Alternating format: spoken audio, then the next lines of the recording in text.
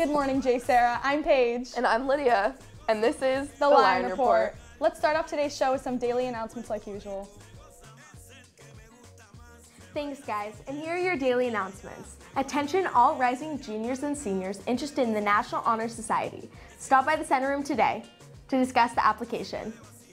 The Girl Up Club is having a fundraiser tomorrow at Aliso Viejo Ice Palace from 7.15 to 9.30 for a two-hour ice skating session. Please show up and tell them that you're there to support the Girl Up Club. Emerald Cove Day Camp is looking for summer volunteers. It's a two-week long camp for kids ages 5 to 10. This is a great way to get Christian service hours, so come by the campus ministry office for more information. In a last minute reminder about the Haiti Club's semi-formal father-daughter dance, which is happening Saturday night in the center room.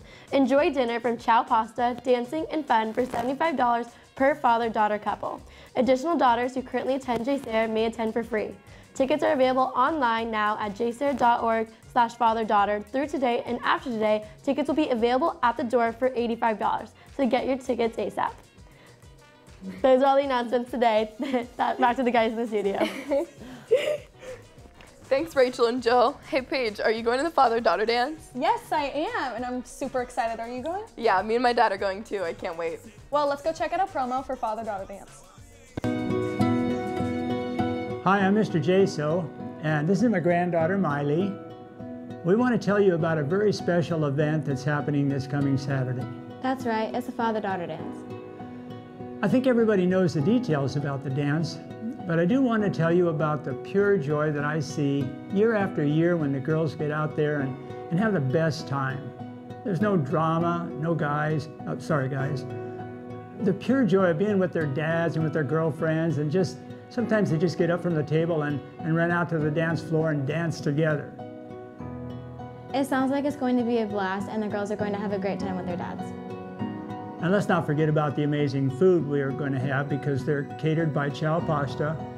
And uh, senior girls, you know, I'd really like you to take the lead and talk to your friends, your classmates, your dads. Encourage them to come on out and have a great time. The next time you dance with your dad, will probably be on your wedding day. So get online and purchase those tickets, girls. You do not want to miss this once in a lifetime event. See, See you at the, the dance. dance.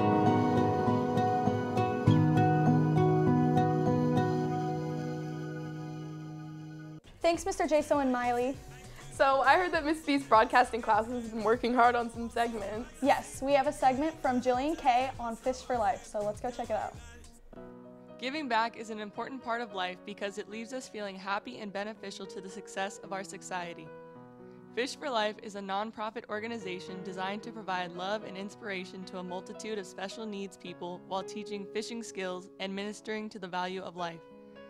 There are a variety of details that go into making the Foundation's events so special. The day begins with a red carpet introduction for every person as they board the boat. Once aboard, the participants are grouped into teams and assigned a fish team leader who is responsible for their child's every wish on the trip.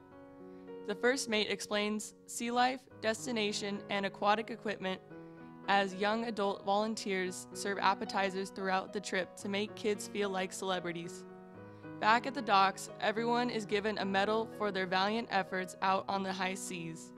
The smiles of the participants' faces are priceless. If you'd like to find out more about how Fish for Life is making waves toward a friendlier world, visit fishforlife.org today. Ooh, thank you, Jillian Kay. Just a reminder that we should all keep Christ in our minds towards the end of this Lenten season. And with that, let's go hear a Lenten quote from Jillian Chade and Bella Fernandez.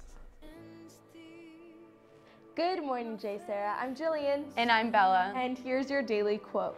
Proverbs 3, verses 5 through 6. Trust in the Lord with your heart and do not lean on your own understanding. In all your ways, acknowledge Him, and He will make your path straight. So, no matter how much you sway off the path, God is always there to keep you on track. And let's remember to praise Him and give up all our worries to Him during this time.